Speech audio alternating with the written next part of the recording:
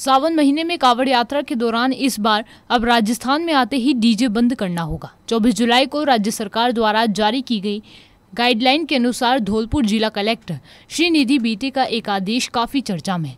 इसमें कावड़ ले जाने वाले यात्रियों के लिए गाइडलाइन जारी की गई है। इसमें लिखा गया है कि देर शाम कावड़ यात्रा के दौरान शहर में डीजे और लाउड स्पीकर पर पाबंदी रहेगी। यानी राजस्थान की सीमा में आते ही उन्हें डीजे बंद करना होगा। हालाँकि कलेक्टर की ओर से इसे राज्य सरकार के नियमों का हवाला बताया गया है, लेकिन इसे लेकर स्थानीय बजरंग दल के नेताओं ने विरोध भी शुरू कर दिया है। आदेशों में ये भी लिखा गया है कि कावड़ यात्री, तलवार, डंडे स्टिक या वे किसी बेसबॉल आदि लेकर साथ में नहीं चल पाएँगे। फुटपाथ पर ही चलें, नशीले पदार्थ का सेवन न करें एवं पानी वाले स्थान पर शांतिपूर्ण तरीके से स्नान करें।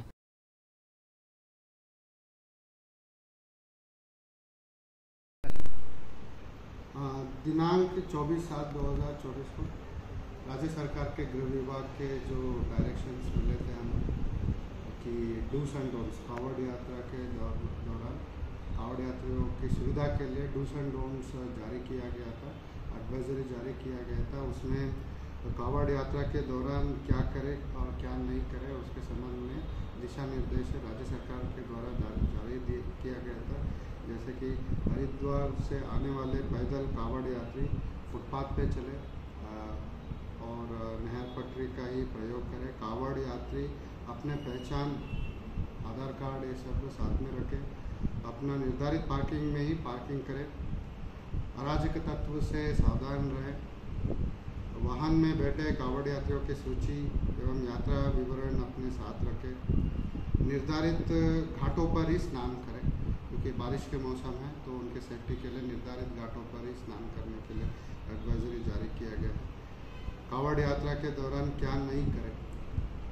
डोंट्स यात्रा के दौरान अपने साथ हॉकी बेसबॉल स्टिक तलवार, नुकीले वाले, भाले, लाठी, डंडे आदि का यूज़ नहीं करें।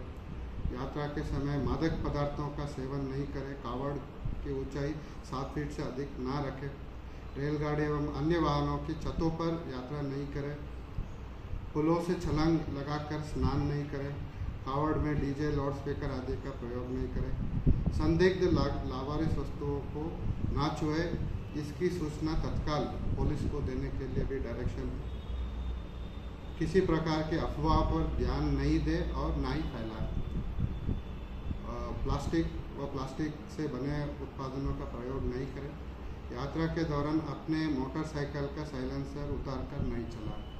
राज्य सरकार से जो डायरेक्शन हमें 24 सात को जो प्राप्त हुआ है, उसको इम्प्लीमेंटेशन इसलिए करना ज़रूरी है ताकि कावड़ यात्रियों का यात्रा सुगम और सुखमय रहे और साथ ही रास्ते में कोई अहितकर घटना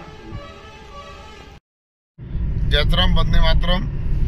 आज जो कि राज्य सरकार के निर्देशन पर जिला कलेक्टर धौलपुर के द्वारा एक आदेश निकाला गया है, जिसमें कि कावड़ियों को लाठी लेकर साथ चलने को लेकर मना किया गया है।